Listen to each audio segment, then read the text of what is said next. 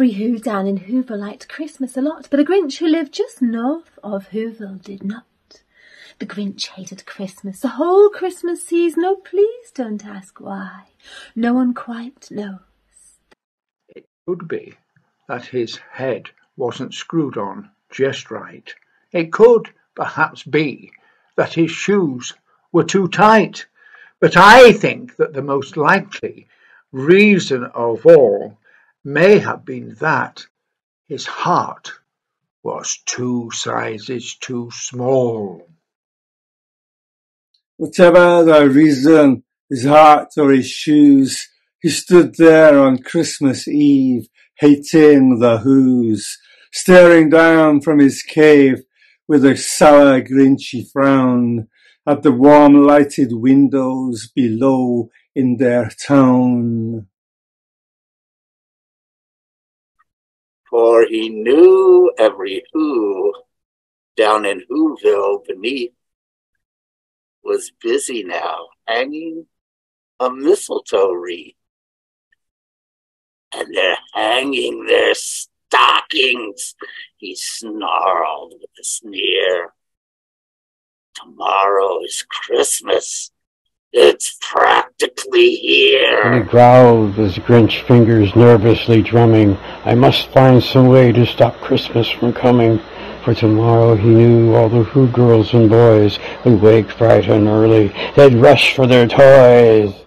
And then, oh, the noise, the noise, noise, noise, noise! That's the one thing he hated.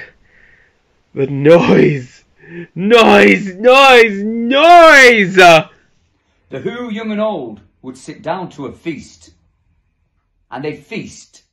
Feast! Feast! Feast! They would feast on Who pudding and rare Who roast beast, which was something that the Grinch couldn't stand in the least. Every who down in Whoville, the tall and the small, would stand close together. With Christmas bells ringing, they'd stand hand in hand, and the Who's would start singing.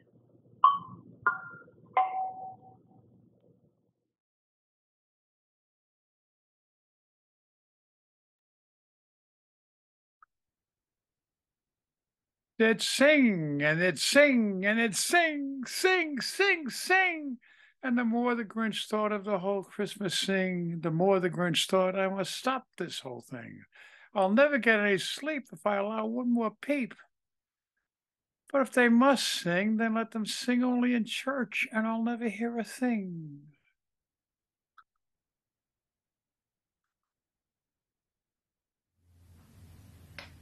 Why, for 53 years, I've put up with it now.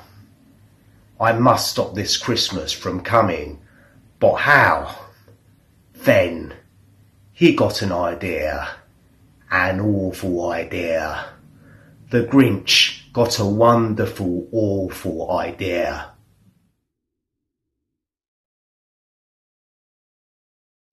I know just what to do. The Grinch laughed in his throat and he made a quick Santa Claus hat and a coat and he chuckled and clucked. What a great Grinchy trick!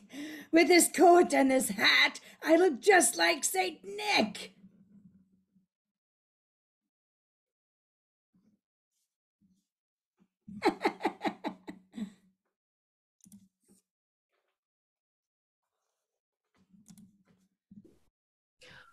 All I need is a reindeer. The Grinch looked around.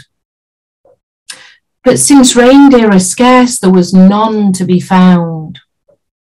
Did that stop the old Grinch? No, the Grinch simply said, If I can't find a reindeer, I'll make one instead. So he called his dog Max.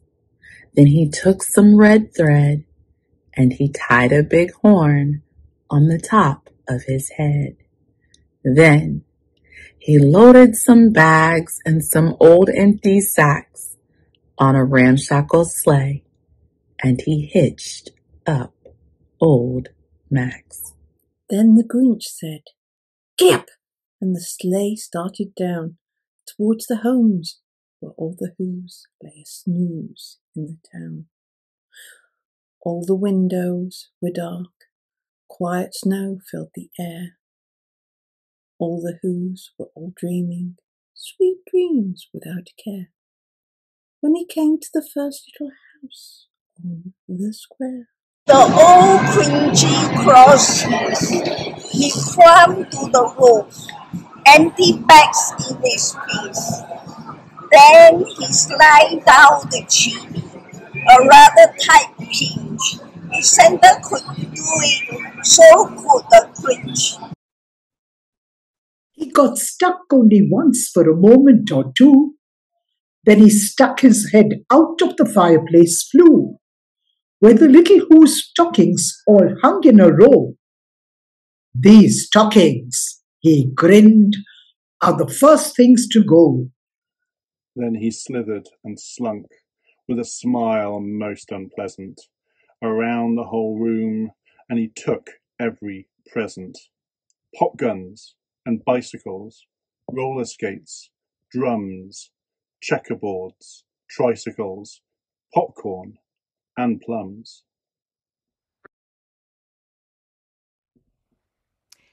And he stuffed them in bags.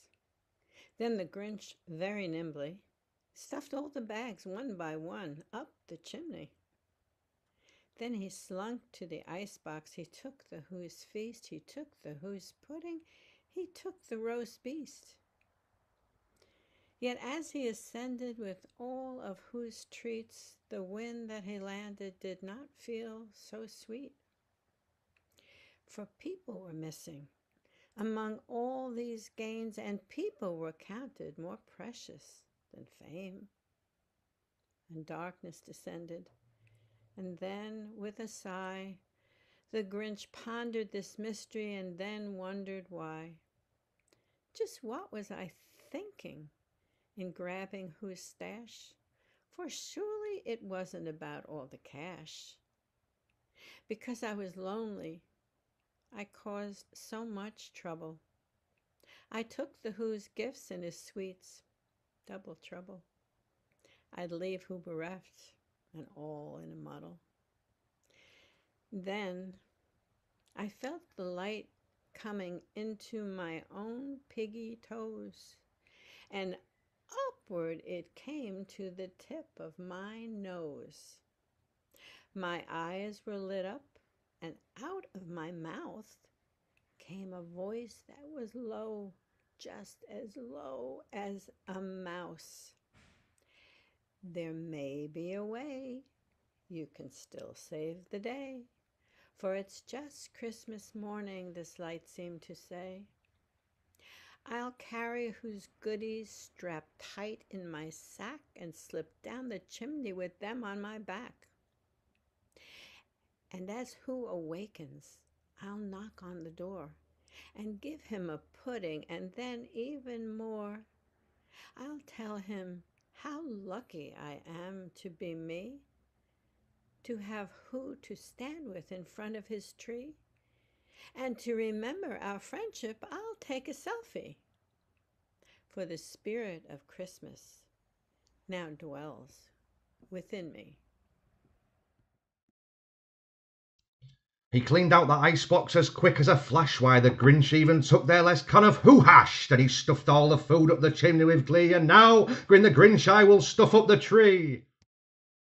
And then Grinch grabbed the tree and he started to shove when he heard a small sound like the coo of a dove. He turned around fast and he saw a small Who, little Cindy Lou Who, who was not more than two. Who'd got out of bed for a cup of cold water. She stared at the Grinch and said, Santa Claus, why? Why are you stealing our Christmas tree? Why? But you know that Grinch was so smart and so slick. He tore up a lie and he tore it up quick. Why, my sweet little tot, the fake Santa Claus lied. There's a light on this tree that won't light on one side. So I'm taking it home from my workshop, my dear. I'll fix it up there, then I'll bring it back here.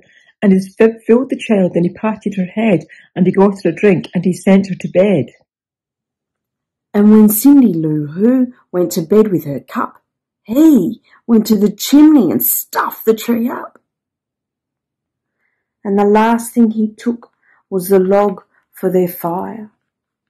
And he went up the chimney himself, the old liar. On their walls he left nothing but hooks and some wire. And the one speck of food that, that he left in the house was a crumb that was even too small for a mouse.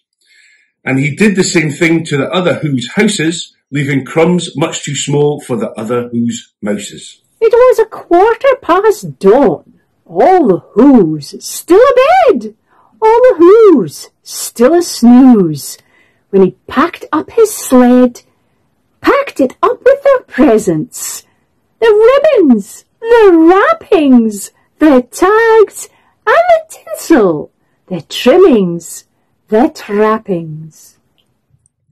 A thousand feet up, up the side of Mount Crumpet, he rode with his loto the tip-top to dump it. Pooh-pooh to the Who's, he was grinchiously humming. They're finding out now that no Christmas is coming.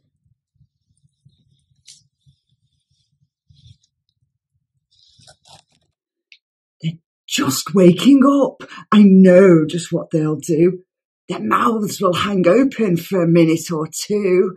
Then the Who's down in Whoville will all cry boo-hoo. That's a noise, said the Grinch, that I simply must hear. So he paused, and the Grinch put his hand to his ear, and he did hear a sound rising over the snow. It started in low, then it started to grow. But the sound wasn't sad. Why, this sound sounded merry. It couldn't be so, but it was merry, very. He stared down at Whoville, the Grinch popped his eyes, and he shook. What he saw was a shocking surprise. Every Who down in Whoville, the tall and the small, were singing without any presents at all. He hadn't stolen Christmas. It came. Somehow or other, it came just the same. And the Grinch, with his Grinch feet ice cold in the snow, stood puzzling and puzzling. How could it be so? It came without ribbons. It came without tags. It came without packages, boxes, or bags. And he puzzled three hours. Then his puzzler was sore. Then the Grinch thought of something he hadn't before. Maybe Christmas, he thought, doesn't come from a store. Maybe Christmas perhaps means a little bit more. And what happened then? Well, in Whoville they say that the Grinch's small heart grew three sizes that day. And the minute his heart didn't feel quite so tight, he whizzed with his load through the bright morning light. And he brought back the toys and the food for the feast. And he himself, the Grinch, carved the roast beast.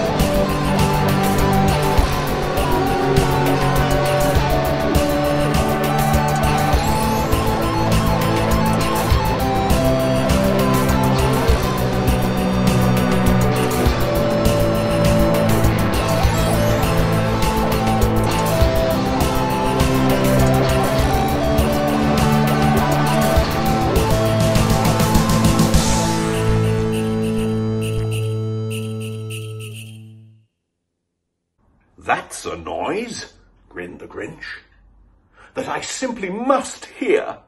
So he paused, and the Grinch put his hand to his ear, and he did hear a sound rising over the snow. It started in low. Then it started to grow.